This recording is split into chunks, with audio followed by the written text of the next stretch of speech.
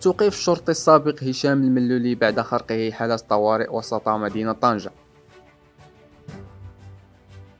وحسب مصدر مطلع فإن توقيف الملولي جاء بعد ضبطه أمام إحدى المحلات الوجبة الخفيفة في منطقة النجمة حيث وجهت إليه تهمة خرق حالة الطوارئ الصحية ومقتضيات الحجر الصحي وسجلت في حقه مخالفة في محضر قانوني. وعلم أن الملولي تم اقتياده من طرف دورية الشرطة ألو 19 إلى مصلحة المداومة بولاية أمن طنجة